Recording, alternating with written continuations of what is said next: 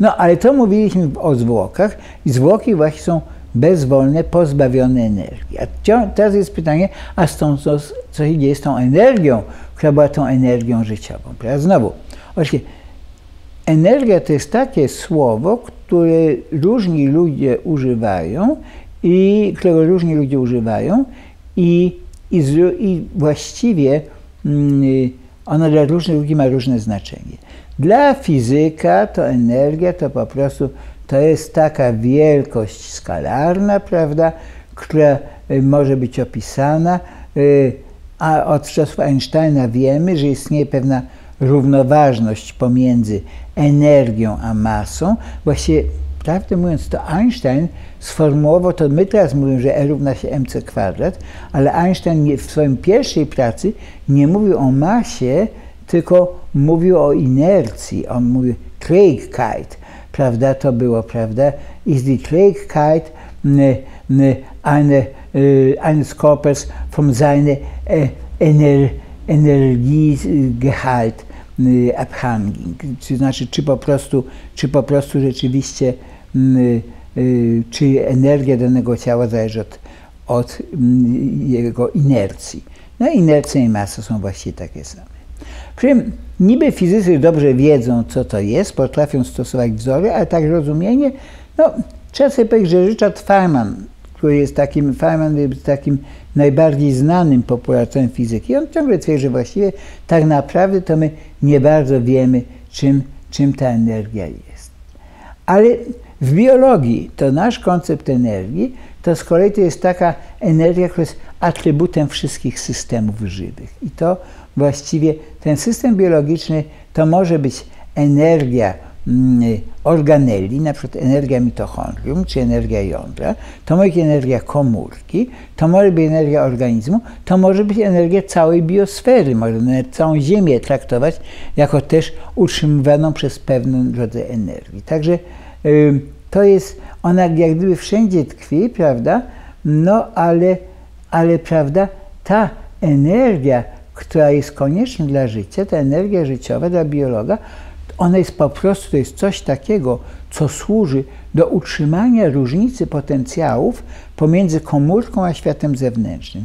Jak gdyby jedną z rzeczy, która jest bardzo istotna dla życia, to jest to, że żywy organizm czy żywa komórka jest oddzielona od środowiska, oddzielona jest błoną komórkową albo innymi formami tak skóra i istnieje pewna różnica potencjałów między światem zewnętrznym i wnętrzem. Najlepiej to widać oczywiście na komórce, bo to się łatwo zmierzy, komórka jest mała. No i, i teraz, prawda, yy, yy, nawet aktywność komórki, na przykład nerwowej, polega na tym, że na krótki czas znika różnica energii, następuje krótkie spięcie, prawda? Ta różnica potencjałów gdzieś znika, ale potem ona jest szybko dalej odbudowywana. I to właśnie nasza energia y, czerpana z pokarmów, to jest energia, która właśnie jest potrzebna do tego, ażeby, ażeby mm, y, odbudować, ażeby odbudować różnicę potencjałów. Każde każdy potencjał czynnościowy w naszym mózgu, a takich potencjałów y, czynnościowych są mi, yy, pewno biliony, dlatego że każdy z 86 miliardów neuronów w naszym mózgu, prawda, ciągle iskrzy, ciągle coś produkuje.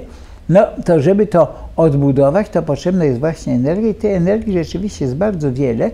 Yy, yy, mózg wymaga, zwłaszcza mózg ludzki. To znowu jest ciekawa kwestia.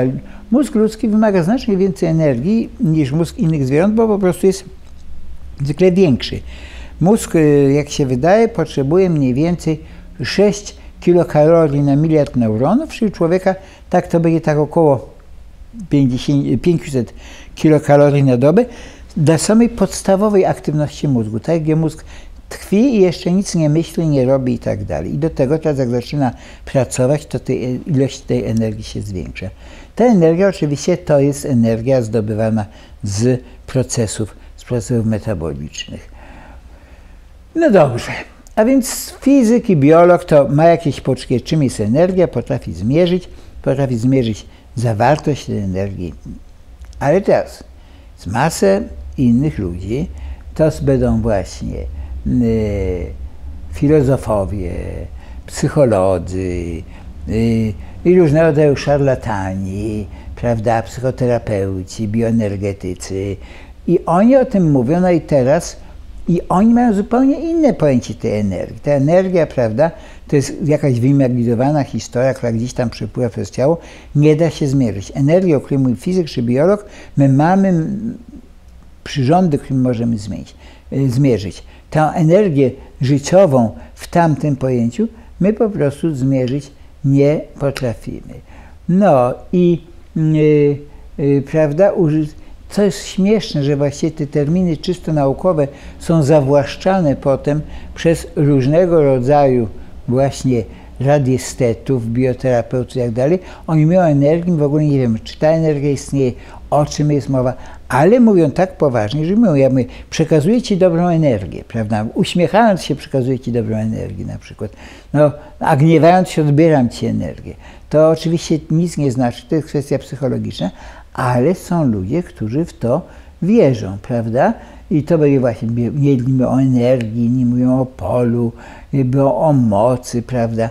No bardzo takie różne rzeczy. I są to ludzie, którzy często w to wierzą, ale podejrzewam, że głównie to nie wierzą, tylko raczej właśnie mamią tymi historiami. A rzecz wygląda, no, no czasami to jest taka sprawa, że mm, pewne poglądy na energię y, jak gdyby prowadzą do y, praktycznie istniejących pozytywnych, pozytywnych y, efektów.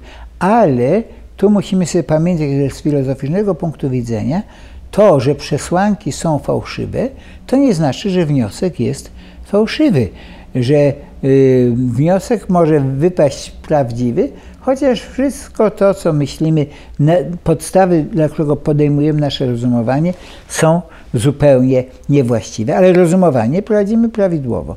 Na przykład no taki sylogizm. Chleb jest kamieniem, oczywiście jest to nieprawda. Kamienie są jadalne, też nieprawda. Prawidłowo rozumując, z tych dwóch przesłanek wynika, że chleb jest jadalny. I bingo, nagle mamy prawdziwe stwierdzenie z dwóch fałszywych przesłanek. I teraz może wszystko możemy zrobić kilkanaście fałszywych przesłanek, że gdzieś został zrobiony zamach, a tymczasem zamach może zostać naprawdę zrobiony, to że wszystkie przesłanki są fałszywe. Także to jest ta cała fatalna rzecz w kłamstwie, że z kłamstwa po prostu nic nie wynika, że coś może być fałszywe, coś może być prawdziwe. Co dla nas jest istotne, to jest to, że na przykład mamy w naszym mózgu jakąś energię i ta energia jest dostrzegana, bo to, ta energia przejawia się jako energia elektryczna, ona tutaj tworzy pewno pole, prawda? My to pole możemy badać i badamy i takie metody badania tej energii w elektrycznej w mózgu, y, to właśnie jest elektroencefalogram, prawda? On nam daje bardzo wiele rzeczy do mm, y, dowiedzenia się czegoś o mózgu. My potrafimy zdefiniować na przykład padaczkę, coś, możemy zobaczyć, gdzie są chorobliwe miejsca w mózgu i tak dalej, i tak dalej. Teraz jest dość ciekawe, że neurony mogą jak gdyby sobie przekazywać informacje o energii, jeżeli są koło siebie położone, to z dwóch powodów. Po pierwsze, my wiemy, że istnieje zjawisko indukcji elektrycznej. Jeżeli mamy dwa druty, martwe druty i przez jeden drut, równoległe i przez jeden drut przepuszczamy prąd, to w drugim drucie uzyskamy prąd płynący w przeciwnym kierunku. To jest stąd ma indukcja elektryczna, która w ogóle nie wymaga życia, ale jest to jak gdyby przekazanie energii. Też ciekawą rzeczą jest to, że neuron może informować drugi neuron o swoim stanie energetycznym, bo jak neuron pracuje, ponieważ tam są zmiany potencjałów elektrycznych, które są generowane jonami, po prostu w momencie, kiedy neuron pracuje, on wyrzuca ze swego wnętrza na zewnątrz dużo potasu.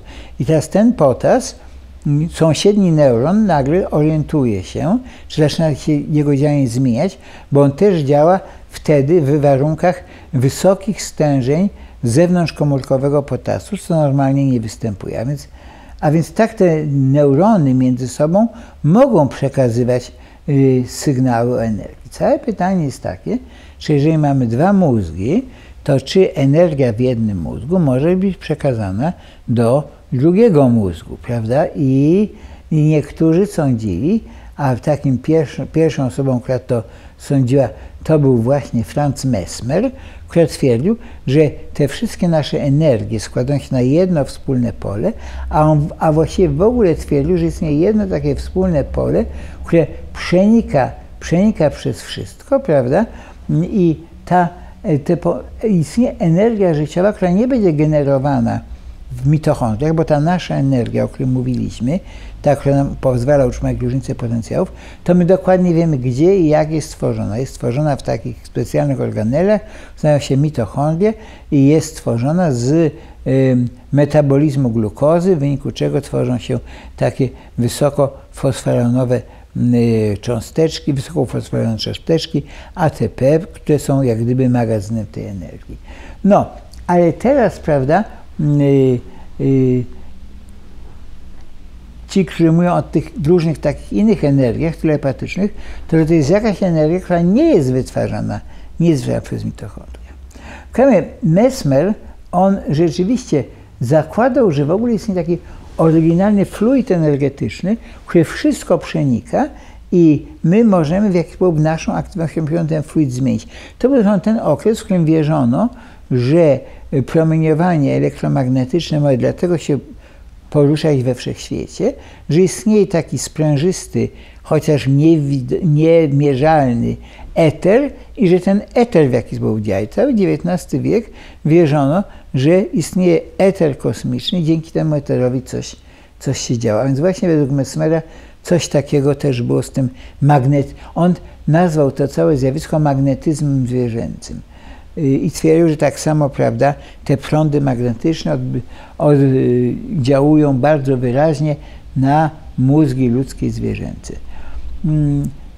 Oczywiście wzbudziło to w ogóle wielkie zainteresowanie i y, na przykład właśnie y, Ludwik XVI, król Francji, o którym właściwie mało co wiemy, poza tym, że go ścięto, ale Ludwik XVI, on się interesował nauką i on w ogóle powołał taką komisję do zbadania zjawisk magnetyzmu zwierzęcego. I to była nie byle jaka komisja, bo jest skład wchodził na przykład Lavoisier, wybitny fizyk, ten, który właśnie roli tlenu w spalaniu i tak dalej robił. No i a, a tak samo do tej komisji był powołany, był powołany yy, yy, doktor Guillotin, ten sam, który wymyślił gilotynę, na której zresztą skończył zarówno Ludwik XVI, jak i Lavoisier. Także, także, także jak myślał. Otóż badania tej komisji y, nie wykazały istnienia żadnych, żadnych fluidów, żadnych fluidów zewnętrznych. Tym niemniej y, ciągle się mówi na przykład o medycyna chińska, że istnieje jakaś taka siatka energetyczna, południki. One mają na przykład mieć znaczenie przy akupunkturze. My w tej chwili wiemy, że akupunktura działa, o dziwo.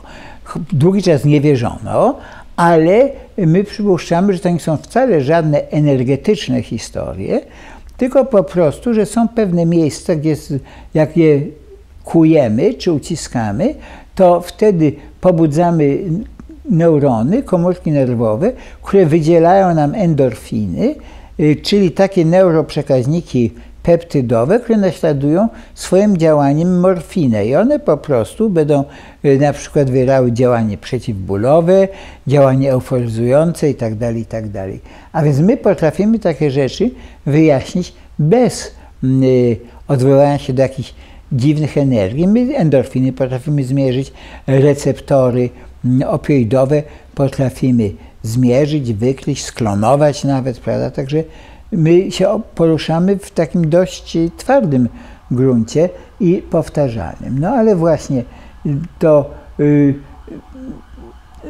ludzie oczywiście, niektórzy absolutnie wierzą w tych energoterapeutów, nakładają ręce, dotykają i tą energię przekazują. Z tego też bardzo często się wyśmiewano i uważano tak samo, że to były rzeczy nieobyczajne, prawda? To się zdarzyło biednemu profesorowi Gapikowi, prawda, którego pacjentki oskarżyły go, że tam je dotyka, jakieś dwie pacjentki były dotykane y, po biuście czy coś takiego, a jeszcze i za to chyba sędzina zupełnie już nie mogła wytrzymać. Gapik chyba kazał pacjentkom, były pacjentki, ssał jego palec. I to dla sędziny, no sędzina musiała mieć jakieś hmm, problemy, jak ja sądzę, no ale w każdym razie wymierzyła mu karę wyższą niż tą, którą żądał prokurator. Z drugiej strony my wiemy, że niby to dotykanie ciała to właśnie taka żadna energia, ale my też wiemy, że na przykład jak są pobudzane większe, powierz, większe ilości receptorów skórnych na powierzchni, to to powoduje, że w mózgu wydziela się hormon oksytocyna i to jest taki hormon, który ma bardzo interesujące działanie, bo ma działań, dużo działań psychotropowych, właśnie zmniejsza lęki, zwiększa zaufanie i tak dalej. I w ogóle jest przyjemny, jak on się wydziela i na przykład, i to znowu, nie tylko lu, ludzie wiedzą, na przykład jak dziecko płacze, najlepsze uspokojenie dziecka, bo się było pewne, bezpiecznie, jak ból się zmniejszył, jest wzięcie i przytulenie, prawda? Mm, e, ale nawet, nawet pies lubi, go się gładzi po głowie, czyli dotykanie skóry, e, czy takiego. My znamy w tej biologicznej że tu nie są potrzebne nam żadne dziwne fluidy energetyczne. No, ale, ale w każdym razie y, o oksytocynie może y, nie bardzo, nie bardzo można mówić. Natomiast przejdźmy teraz do tych naszych y, o, rzeczy, o których chciałbym powiedzieć, bo to, co jest fascynujące dla mnie, y, to są, to jest próba badania takich zjawisk, które my uważamy za niemożliwe, ale ludzka kultura, tradycja wierzy, że one istnieją. No i teraz jest problem. Y, jak wiele osób mówi, że coś się dzieje, a my mówimy, to jest niemożliwe. Jak mówimy, to jest niemożliwe z powodów ideologicznych, to to nie jest tak zupełnie fair. Ludzie mówią na przykład, że jak ktoś umiera, to pękają szklanki albo stają zegary. O tym się bardzo, y, bardzo wielu ludzi w to mówi, święcie wierzy, ale co ważniejsze, ja sam y, miałem y, kolegę, któremu absolutnie mogę wierzyć, który opowiadał właśnie, że jak umierał, umierał ich dziadek i oni odeszli już od konającego dziadka, żeby zjeść obiad i w tym momencie nagle szklanka, która była na kredensie daleko od wszystkich osób nagle z hukiem pękła, najmłodszy wnuk powiedział, o dziadzio umarł, pobiegli, rzeczywiście dziadzio już nie żył, prawda? Ja sam wiem, że jak mój stryj umierał, umarł u mnie w domu, umarł w nocy, ja powiedziałem mojej mamie, że no, yy, bo tam było świadectwo zgonu, że stryj umarł między godziną pierwszą a piątą w nocy. Ja powiedziałem, o, umarł o 2.25. A skąd ty wiesz, zapytała moja mama? Powiedziałem, no bo zegar w holu się zatrzymał. Mama mnie opieprzyła jak burą cukę, bo moja mama wierząca katoliczka, ale też dobry biolog. Ale jak się okazało, że o godzinie 2.27 zatrzymał się zegar w mieszkaniu stryja w Poznaniu, bo stryj y, do nas przyjechał, był w Poznaniu, no jak głupio, no nagle taka koincydencja, prawda? Wobec tego ja uważam, że przyrodnik nie może być taka rzecz nie istniała, zamiatać po szafie, bo jest coś takiego, czego jeszcze nie potrafimy wyjaśnić, yy, a może znajdziemy jakieś metody, jak to badać. No i właśnie przykładem takich rzeczy, o których my nie bardzo wiemy, jak one tam powstały, ale które coś tam się dzieją, są właśnie te zjawiska, zjawiska okołośmiertne.